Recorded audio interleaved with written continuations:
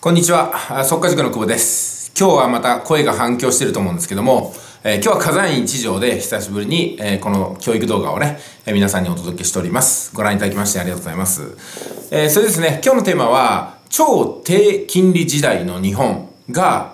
皆様にどういう関わりを持ってくるのかということを、おそらくですね、多くの方が全く理解してないと思いますので、お届けしようかと思いますが、あの、低金利時代っていうのは、誰に対して有利なのかってことをまず認識しておかなければならないんですけども、これは実はですね、お金持ちとか、それから投資家にとって、ものすごく有利な政策なんですよ。それはなぜかというと、まあ今日ね、あの講義があったんでちょっと書いてるんですけども、まあ我々一般国民がほぼ0円という利息で銀行にお金を貸してる図がここに書いてます。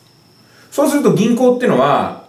費用かからずにお金を集めることができるんですよね。莫大な金額です。一人が、例えば100万とか200万かもしれませんけども、中にはね、1万とか10万っていう、あの、少額の積み立てをしてる方もいますけども、そういうのを、やっぱりね、数千万人というレベルで銀行っていうのは集めてくるんですよ。もうそうすると、数億とか、まあ、数百億とかね、場合によっては、超という金額に迫っていくわけなんですよ。じゃあ、この、無料で集めたお金を銀行はどうするのかってことなんですけども、これがですね、ミソなんですよ。その、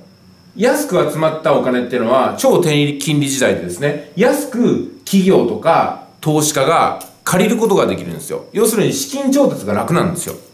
で、資金調達が楽にできて、すごい低い金利で、本当ただ同然で1%とかですね、0.1%とか、ああいうので借りていくんですよね、企業が。で、企業とか投資家ってのは、市場の原理に従って、まあ大体利回り10%とか20%、まあこういった、あまあなんですかね、えー資産を作っていくと。収益物件を作っていくと。投資家もそうですよね。投資家も10%とか20%、場合によってはもっと大きなですね、利回りのものに投資していくと。で、利材を上げるんですけども、その時に、このお金を借りたコストを払わなければならないというところがもう癌だったんですけども、これがほとんど払わないんですよ。払わなくていいんですよ。ですから仕入れがない状態で売り上げだけ、えー莫大あるということが、えー言えますんで、あの、これがですね、結構あのバブルの時代とかけ結構ね金利が高い時代ってのはどうしたかっていうと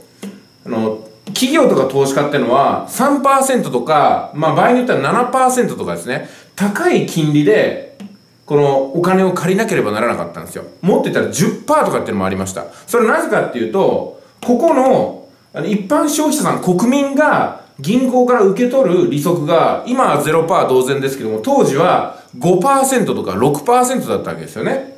そうなるとですね、銀行っていうのは仕入れに、まず5%とか6%のコストがかかるわけですから、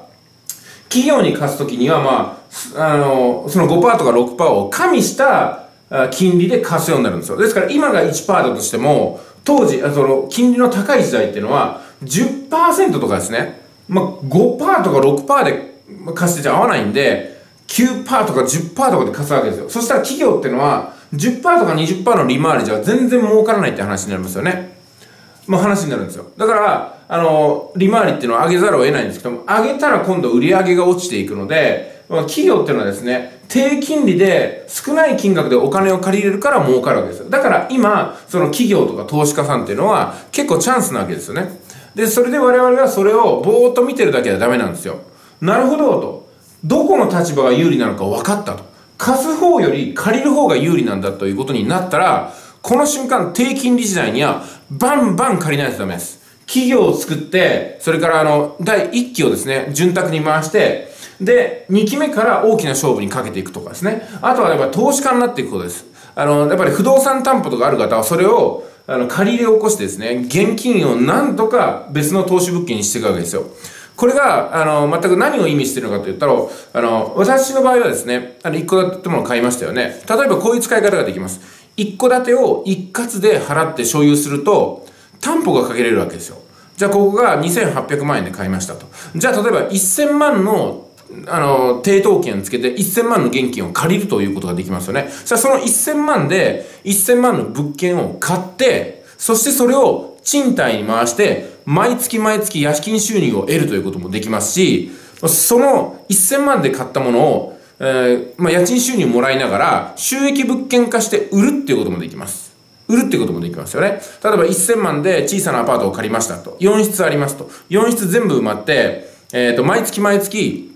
30万入ってきますってものができると、まあ年間でですね、360万入る収益物件ができるってことなんですよ。じゃあ、最初1000万で買った分3年で回収できますよね。ということは、これを欲しがる人がいるってことなんですよ。ですから私は、1800万とかで収益物件化したこの毎月30万入ってくるアパートを人に売るということで、800万の利益をもう瞬間的に得ることができるんですよ。で、その間、あまあ、それで売った後ですね、1800万円の分、1000万円を借り入れ起こした、この、家の抵当権、こう、お返ししてですね、800万の利益を浮かせるってことができます。これが、瞬間的にできるわけですよ。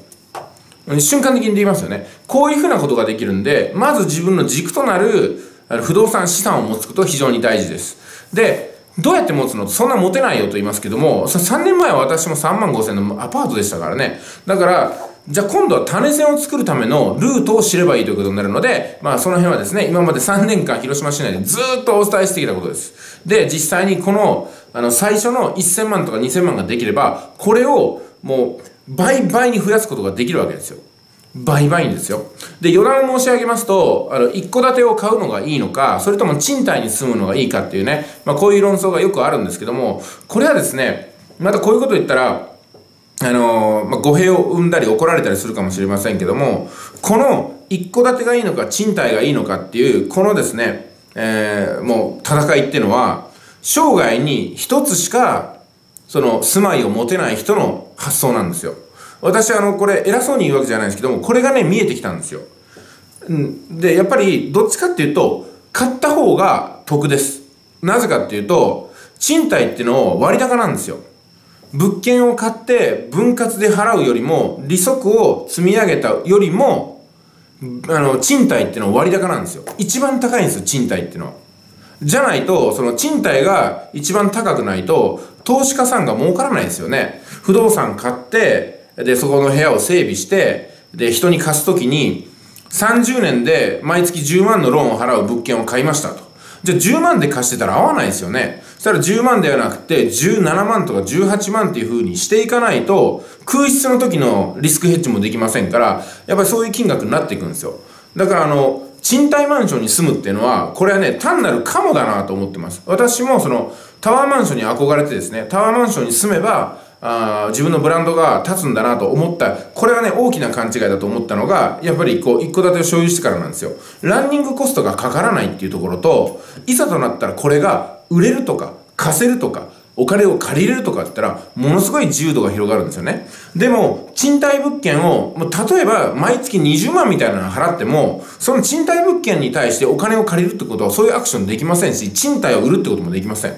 まあ、せいぜい敷金礼金を返してもらうために解約ってことになるんですけども、ここに一つ大きなことに気づいたんですよ。それはですね、以前、その、広島ヒルズと言われる、その、袋町公園の前のマンションを私借りてましたけども、あそこのですね、敷金礼金とかを込みで、まあ、40数万円最初に入れてるんですよ。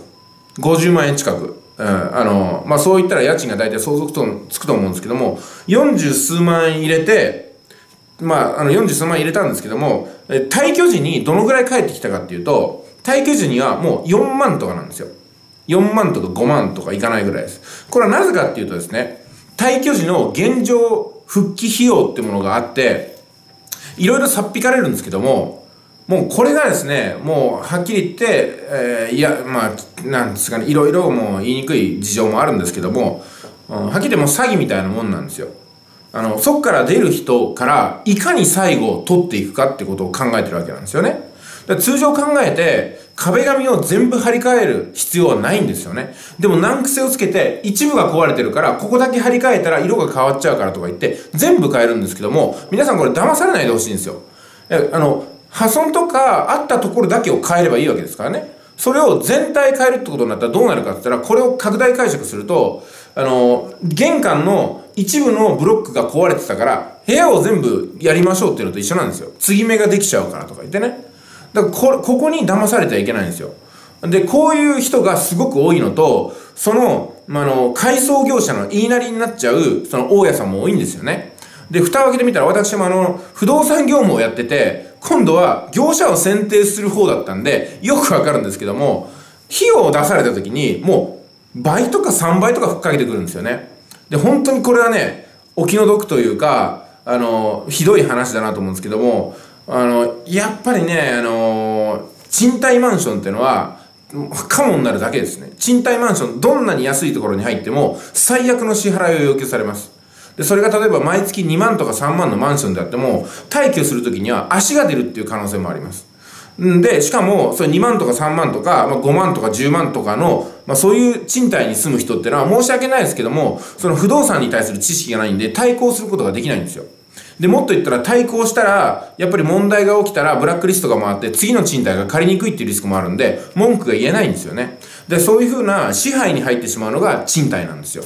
で、私の場合はもう次一戸建てに入るってことを決めてた。一生多分賃貸の契約、不動産とかいらないんで、まあちょっと強気に出たんですけども、全く返ってこないですよね。で、裁判を起こすのもバクバクしでしないですけども、そんなケチなことは。まあ皆さんはこういう目に遭わないように、契約書にたとえ書いてあっても対抗してもらいたいんですよ。契約書にいろいろ特約とかあっても、そのここの文章でその解釈はできないっていうふうに戦ってもらいたいと思うんですよね。で、まあそのために弁護士費用がかかるとか裁判がどうとかになってきたら結局根負けすると思うんですけども、まあそういうリスクをはらんで賃貸ってのがあるんですよってこともね、認識していただければと思います。まあ本当にね、えー、腹立たしいことだったんで ちょっと話してしまいましたけども、まあね、えー、お世話になりましたと、大家さんには言っておきたいですね。ありがとうございました。